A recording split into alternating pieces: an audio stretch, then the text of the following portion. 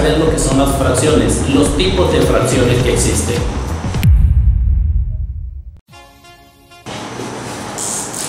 Como podemos ver, los tipos de fracciones tenemos lo que son las fracciones propias, impropias, fracciones mixtas y fracciones decimales. En las fracciones propias podemos ver que el numerador, el numerador es más pequeño que el denominador.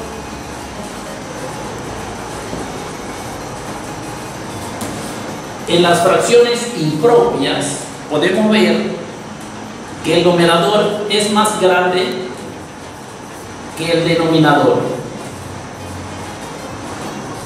O sea, en la fracción impropia ya entramos en aquí, aquí ya entramos en los enteros. En las fracciones mixtas, se llaman fracciones mixtas porque viene compuesta por un entero y viene compuesta por una fracción, que sería tres enteros, un medio. Y en las fracciones decimales tenemos lo que son las decimales, nueve centésimos. Tenemos también un décimo, 20 milésimos y así sucesivamente.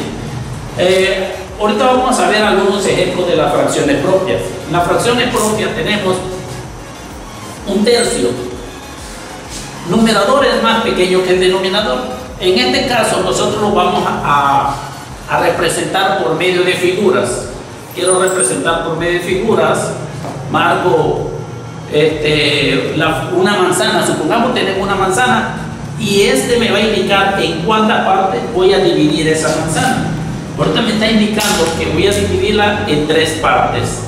Entonces divido en tres partes y en la parte, el numerador me dice cuántas partes voy a pintar. Me dice que una parte voy a pintar y ahí tenemos ya un tercio. Tenemos otra, otra fracción, un octavo, dice que la vamos a partir en ocho partes. Esta manzana la partimos en ocho partes. Y voy a pintar una. Este es un octavo. Si voy a pintar tres quintos, tengo la manzana, la parto en cinco partes. 1, 2, 3, 4 y 5. Y voy a pintar 3. 1, 2 y 3. 3 partes, 3 quintos. Así la vamos a ir representando. Siempre el numerador va a ser más pequeño que el denominador. Estas son lo que son las fracciones propias. Ahora, las fracciones impropias fracciones impropias tenemos que el numerador es más grande. Aquí ya me dan los enteros. Entonces tenemos 8, eh, cuartos. 8 cuartos, veremos. Vamos a representar 8 cuartos. Tenemos la manzana, la vamos a partir en cuatro partes. Nos indica en cuánta parte la vamos a partir. 4. Y vamos a pintar 8. 1, 2, 3 y 4. Si no nos alcanza, ponemos la otra, la otra manzana y completamos la que no hace falta. Aquí tenemos 4 partes, 5, 6, 7 y 8 partes. Es la cantidad de 2 enteros. Otra fracción impropia es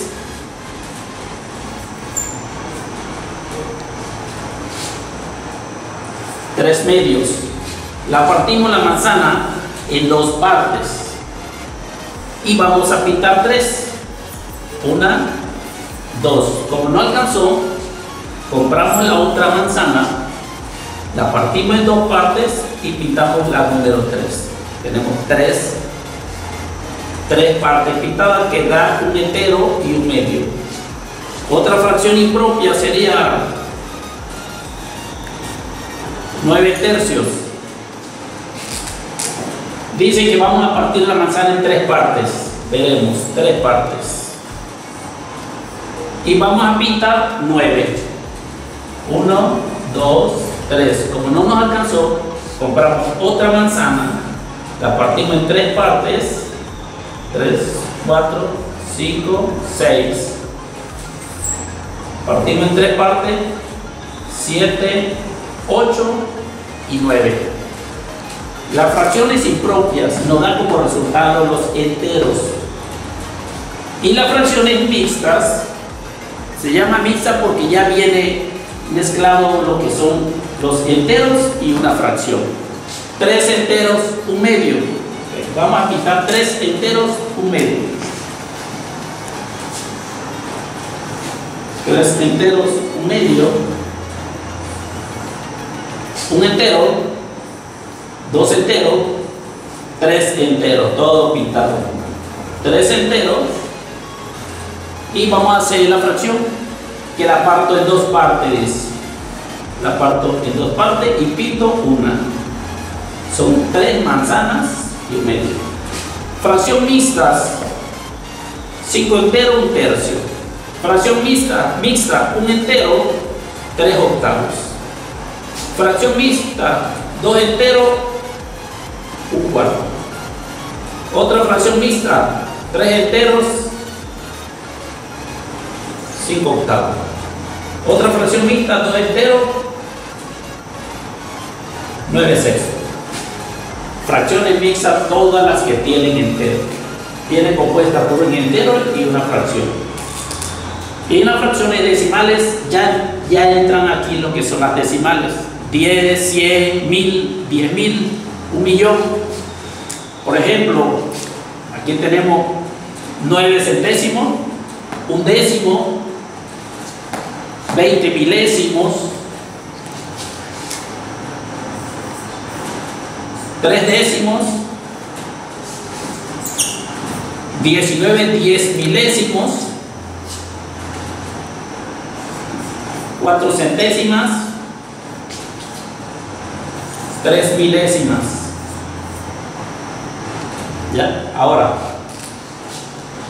queda claro lo que son de fracciones tenemos las fracciones propias, impropias y mixtas y fracciones decimales. Entonces, si le ponemos un ejemplo a algunos compañeros aquí, me van a mencionar el tipo de fracción. Ok, veremos el tipo de fracción. Un tercio, nueve cuartos, 8 quintos, 1 octavo, 2 enteros, 1 tercio, 4 enteros, 6 cuartos, 5 enteros, 1 noveno, 6 enteros, 1 tercio, 7 enteros, 8 quintos. Sobre esta línea vamos a poner el tipo de fracción que encuentran.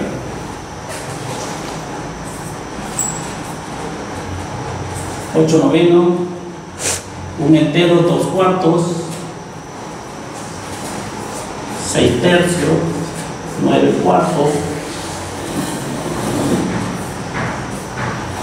Bien, aquí tenemos algunos ejemplos, compañeritos. Eh, aquí lo que van a hacer es que van a poner qué tipo de fracción es este, qué tipo de fracción es este, qué tipo de fracción es cada una. Estos son ejemplos para que ustedes puedan ir este, trabajando, puedan ir socializando con lo, con lo, que son las fracciones. Porque más adelante vamos a entrar con lo que son la suma de fracciones, multiplicación de fracciones, y, eh, pero para entrar a ese tema, primero tenemos que socializar con este, con este tipo de fracciones porque es el inicio. Al igual que tenemos que ir representándola. Lo que queremos es mencionar qué tipo de fracción es y por qué. Hay que representarlo por medio de figura para que en el momento que vayas a sumar una fracción no se te complique el trabajo. Bueno compañeros, ese es el tema de hoy. Espero les ayude bastante y no olviden suscribirse a mi canal de YouTube.